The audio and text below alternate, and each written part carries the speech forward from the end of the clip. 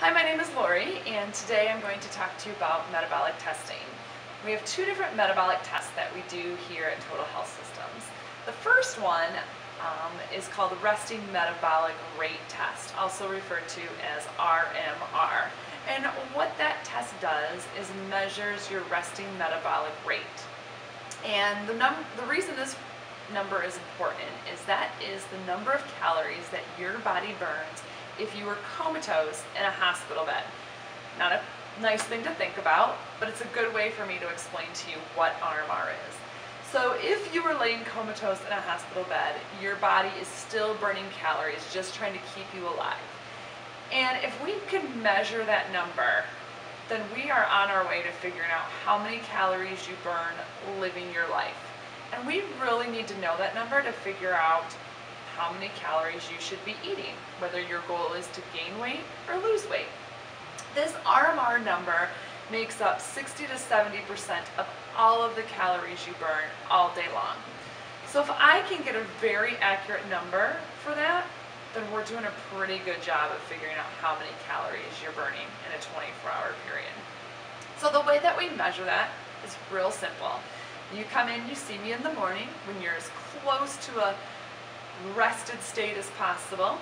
You have no breakfast, no coffee. That's usually the hard part for people. But you just kind of roll out of bed. You can brush your teeth, come in and see me, and then you're going to sit in a chair and breathe into a tube pretty easy. Usually the test takes anywhere from 10 to 20 minutes. As soon as the computer recognizes that we have enough good information, the test is done. I analyze it and I explain it to you. And from that point we figure out, all right, here's your RMR. Now let's figure out how many calories we should add in there because you're not comatose. Let's add in how many calories you burn with exercise. And that gives us a number. And let's say that number, just for an example, is 2,000.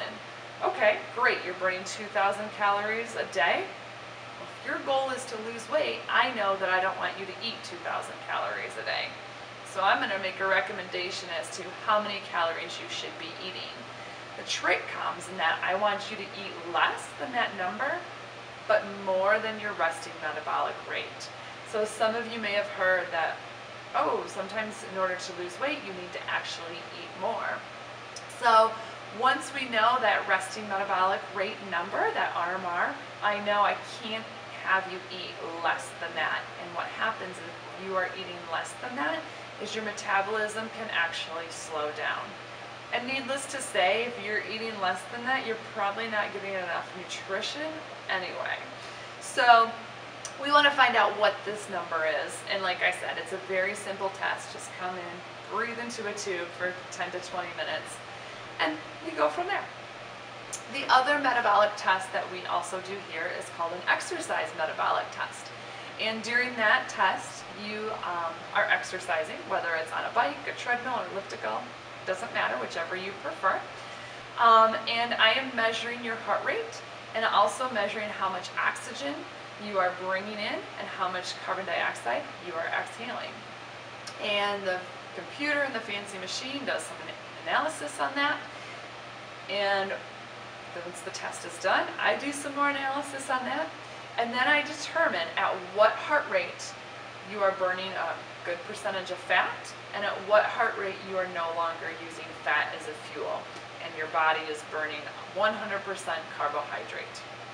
Once I know both of these numbers, I can make some recommendations for your cardio workout. So I will give you, um, based off your test results, a 12-week training program that tells you, hey, between this minute and this minute, I want your heart rate to be between here and here. Between this minute and this minute, I want your heart rate between here and here. And there's a progression in that 12 weeks. Usually the workouts start out pretty easy in those lower heart rate zones where you're burning a high percentage of fat. And as you go through the 12 weeks of working out, I start having you work out more and more intense, working up higher and higher calorie burn rates, burning more and more carbohydrates.